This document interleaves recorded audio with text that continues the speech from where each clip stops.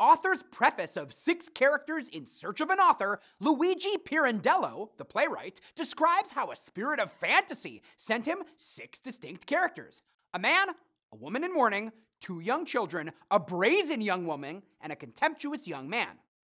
He says he first intended to write a book with them in it, but decided against putting the characters in a novel, yet they wouldn't leave him alone. Pirandello realized the characters had their own life, independent of the everyday world, and that a drama might best show this. He wrote a play in which the six characters have been rejected by the author who created them. The characters, seeking the life their author denied them, enter a theater where a troupe of actors is rehearsing. He calls the resulting drama of the characters with the actors, director, and stagehands tragic and comic, fantastic and realistic.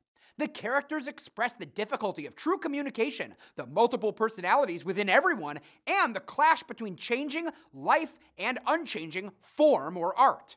The father and stepdaughter are aware their characters and argue passionately for a chance to live out their drama. The mother is unaware she's a character, but she responds to events with great emotion and feeling. Madame Pace is a character who comes to life on the stage, propelling the play into a sudden change in the level of reality. Despite the chaotic events of the play, Pirandello has presented a classical and predictable structure.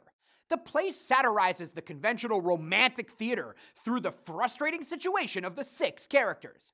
The preface illuminates the creative process of artists and writers, a topic the play itself dramatizes. It also examines the eternal nature of art and explores how this eternal nature leads to the character's suffering. Fantasy may have delivered the characters to Pirandello, but once they're alive, it's Pirandello who's responsible for them.